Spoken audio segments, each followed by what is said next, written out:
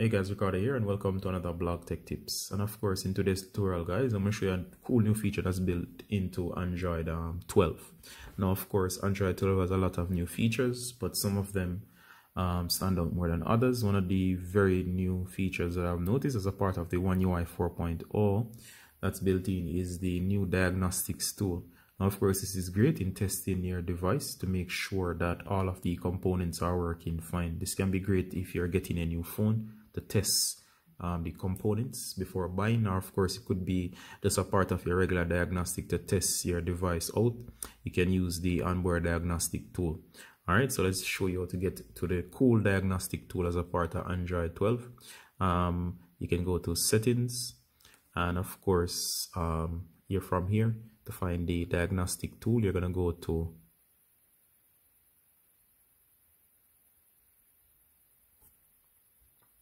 you're going to go to battery and device care all right so the new redesigned battery and device care is going to look like this. But of course down here um, you're going to see where it says um, diagnostics right? Down here and it says touchscreen sensor um, charging and more.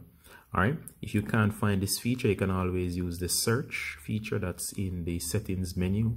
So you can always open settings and go ahead and use the search at the top of the screen. Should be able to find it as well in case it's um, somewhere else on your device. You're gonna click on the option and allow it to launch. You might be asked to agree to some stuff uh, before you're allowed to access the feature. It does take a while to start up most times.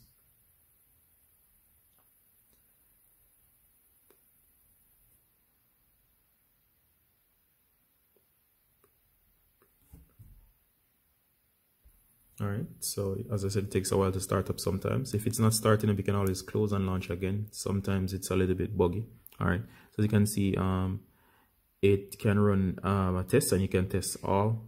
Um, of course that's going to be time consuming. So if you want to you can actually go ahead and run it specific to an area you might be concerned about. So for example let me just run you through. There's battery status there's the nfc that's built in the sim card sd card power and start status there's software touch screen there's a camera there's mic. Trust me there's a lot of stuff here but you can read this on your own time. I'm not to read all of them.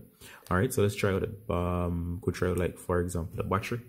And it gives you the battery status um my case it says my battery is at 44 percent life is good capacity shows a typical and of course it says it's working normally.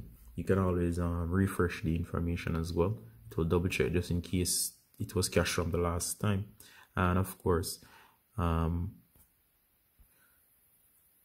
all right. So of course again you notice once you run a test it does give you that cool confirmation that it's um okay. Um, we could do also the speaker. And of course it can run you through various tests and run you through the the, the um, process.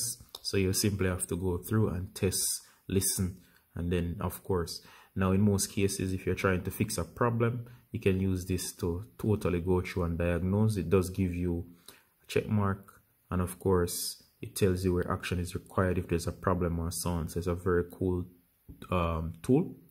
But as I said you can do a full on um, run through or of course you can selectively choose what you want to test. It will run you through the test process. All right guys so that's a new feature if you find useful please let me know in the comments below. We can go through every test but of course you can run through it self-explanatory. Simply read what's on screen and run through the process of testing the specific component with the test that samsung has designed to test your device. Very nice feature that they have added. And of course thumbs up to samsung for adding this. Great for troubleshooting. All right guys ricardo from um, blog tech tips saying bye. Until next time. Bye